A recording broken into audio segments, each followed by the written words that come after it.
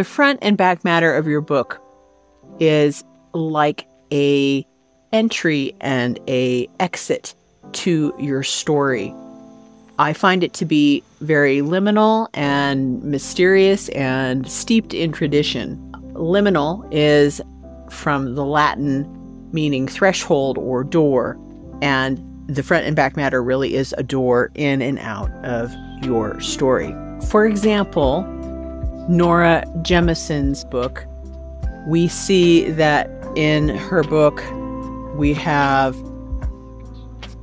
this beautiful frontispiece title page, this art on the title page, the epigraph and dedication, a map, and it carries on into the back matter. Likewise, things like inscriptions and signatures can be found in the front and back matter. Strange little Easter eggs and clues, like this book is dedicated to members of the cult. What does that mean? If you're like me and the reader experience is your priority, then you do want to craft a full experience in your front and back matter. In a previous video, I talked about formatting your book. So we used the Vellum software in that tutorial. And if you use Vellum, you can go to the little gear icon and from the list select insert elements and the front matter and back matter will be listed there in the proper traditional order. Just insert all the elements and then fill them in. So it's easy as that. If you're using a professional book formatter, again, they will know all the nuances to the art of front and back matter and it is really actually an art and it is quite complicated. There is a balance to it, there is a way to do it correctly. One exception to following the traditional format for front and back matter is for ebooks.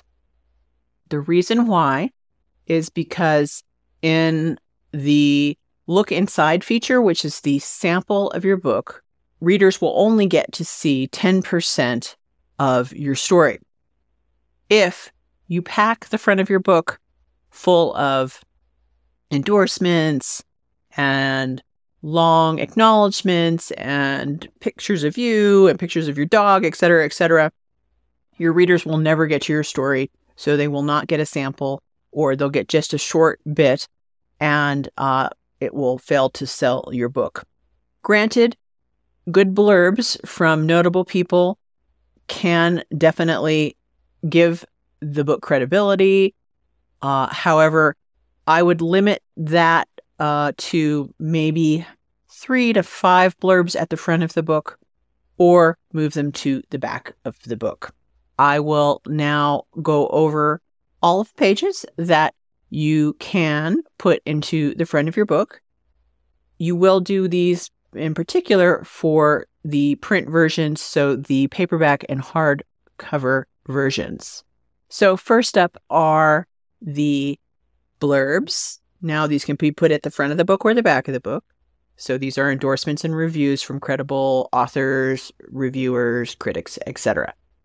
The half title and title, you can insert a full image here as well. Be careful though, if you're doing this on your own without a software like Vellum or using a professional, you need to know what's on the verso and what pages are blank, etc. Okay. If you're using Vellum, it will do this automatically for you. Next up is the copyright page, which we'll spend a good deal of time on. That's a complicated page. Your dedication, your epigraph, and your table of contents. I can't recall if I mentioned this, but table of contents is required for your Kindle book.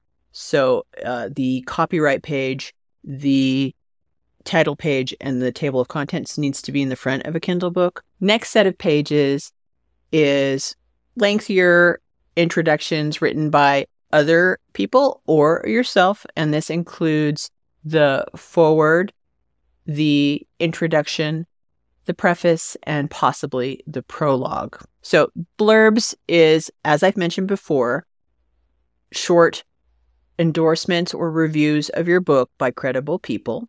So, you list these out with the name. The next is title page, and that is required in all versions. That's going to be the title, the author's name, and the publisher's logo or publisher's name at the very least. Next comes the copyright page. The copyright page is probably the most um, complicated and legal page out of all of these. It has a lot of elements and it has a lot of history. Copyright itself is interesting in that you can use a poor man's copyright. Now, I'm covering US law, uh, so that's what I know. Uh, if you're in another country, you're going to have your own copyright laws and your own copyright offices. I'm going to be talking about US copyright here. In the US, as soon as you commit a work to a medium, so in this case, uh, software or to uh, the page, so as soon as you write it down, it is your property and is technically copyrighted. You can put just the word copyright with the copyright symbol, the year, and your name. And that is enough to formally declare that the work is copyrighted. However, if you want to go the legacy indie route, which we're covering in these videos, then you will want to register your copyright with the Copyright Office. You just go to the website copyright.gov find register a literary work there, click it and follow the prompts. It will ask you for various information, but the title, author name, date of publication, etc. It'll lead you through the form uh, and it will ask you to upload a digital copy to the site for registration. There is a cost for this registration, and that's $65. You will receive a certificate with a copyright number, which is an alphanumeric code, in the mail. This is the only registration that costs money. Be aware that the LCCN or the Library of Congress c- control number does not cost anything. So if someone's charging you a package price for these registrations or charging you for the LCCN, then it is uh, sort of a scam or a service fee. You can go directly to the Library of Congress site to get your LCCN number for free. Library of Congress, uh, their website is a very complicated URL that I'm not going to be able to recite to you. So I'm going to put that in the description below and you can use that link. The reason why you'll want an LCCN is because this allows you to uh, have your books in libraries, which, you know, why wouldn't you want your book in a library? It's a quick turnaround. You get the number within a couple of days. They do ask that once your book is published that you send a physical copy.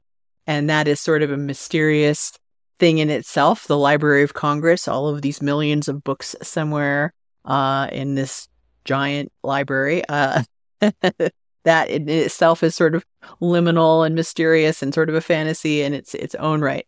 Also on the copyright page, you can put a disclaimer stating that uh, events or people in the book are a fiction, put the publisher's information, how to contact them if somebody wanted to request to be able to cite the work or uh, just get in touch with you. Here, most authors also list their ISBNs, and this is just to make it easier for booksellers to track the book.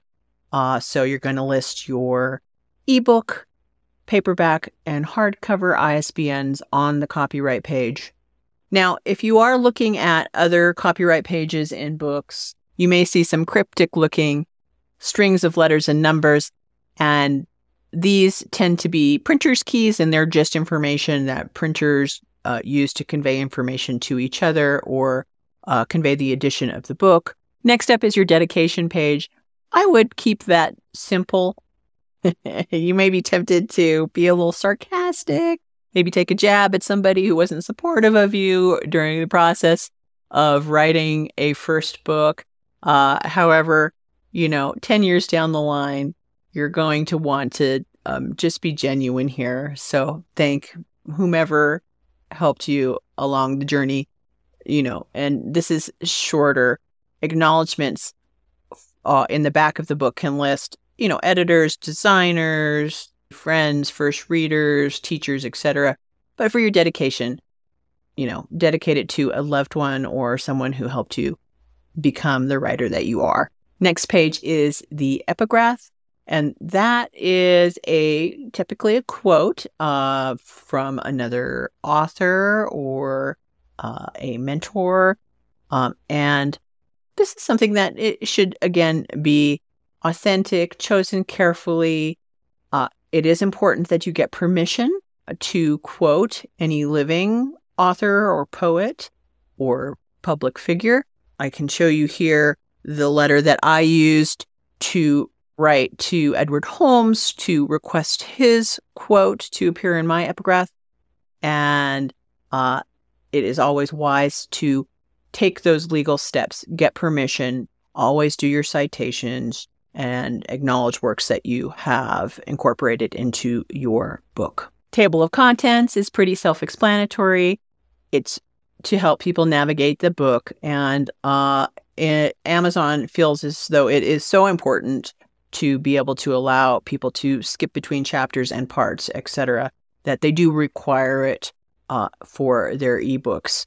Um, for print books, you know, and in a novel, I don't know how important it is to be able to know where a chapter starts. I mean, it is a narrative, um, so you wouldn't want to skip around. Personally, I uh, just list out the parts and the key pages for the front and back matter in the table of contents.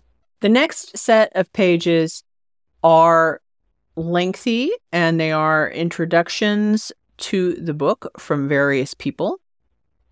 The foreword, spelled F O R E W O R D, often misspelled by authors, uh, is the before word and it is written by somebody else. You would ask somebody uh, who is experienced in your area of fiction, if it's a nonfiction book, a authority in that area, uh, a mentor, a teacher, to write what they think about the book, why people should read the book, uh, their personal experience with the subject, etc. For many novels, it's probably unnecessary to request forewords unless you know you can get one from just a banger in your in your area in your genre. I mean, if you can get like Stephen King to write your foreword, well, yeah, yeah, get that done. Otherwise, it t- takes up space before the reader gets into the story. They're going to want to jump right into your narrative. Likewise, the introduction and preface probably not necessary in a novel. So the preface would be uh, what inspired you to write the book, what experiences led up to the creation of the book, why you wrote it, uh, those types of things. And the introduction would be further information, digging deeper into the subject matter or the themes within the book, um, more nonfiction information about what the story uh, contains. This might be included for historical fiction uh, if a lot of study went into um, the historical figure, etc. So you could include the introduction. I can see reasons for them, and please comment below if you have reasons for including forewords, prefaces, or introductions in your work. We do want to keep in mind that look inside feature again, where you're going to want to show uh, the story to get the reader engaged and started on the book so that they buy it. So, those are the basic elements you're going to want to include at the front of your book. Again, in a couple of days, I'll film a video on the back matter, uh, which is equally as interesting and varied. Again, I really want you to keep in mind that this is the entry into your book, and you, with the reader experience in mind, can include all sorts of really cool, interesting things. You know, the dedication can be interesting and mysterious. The epigraph can be selected with care and really be thematic to the book. Yeah, you can hide little things within the front matter that enrich the experience and uh, intrigue the reader about you as an author and your story. So I hope I made something that you might have thought was a dull subject into an interesting one. Please let me know again if you would like to learn more about these particular elements of a book. If you'd like to claim your free indie publishing Trello project, this has every step from finished manuscript through editing, design, production, upload, and ongoing sales. Visit my website, kittyturner.media. So claim that. Also, make sure to like and subscribe this video, share it with author friends, build the community around the legacy indie author publishing experience. And thanks for watching. I'll see you guys in the next video.